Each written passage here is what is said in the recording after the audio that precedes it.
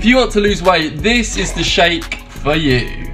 Ice, and four pineapple, and four mango, 75 grams Greek yogurt, teaspoon honey, 150 ml water. Is it up?